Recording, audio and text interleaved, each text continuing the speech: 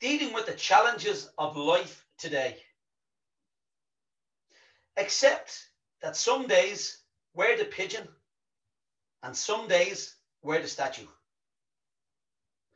Always keep our words soft and sweet, just in case we have to eat them.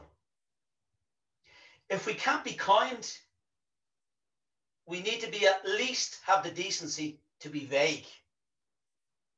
If he lends someone 20 euro and never see the person again, it was probably worth Never put both your feet in your mouth at the same time because then we won't have a leg to stand on.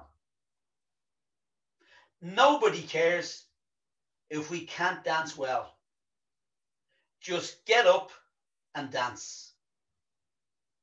When everything's coming your way, maybe you're in the wrong lane. Some mistakes are too much fun to only make once. We could all learn a lot from crayons.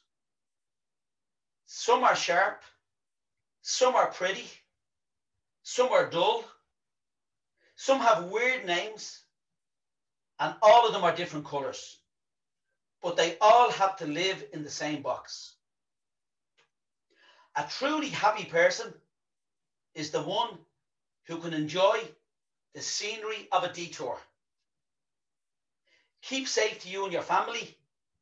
This will pass.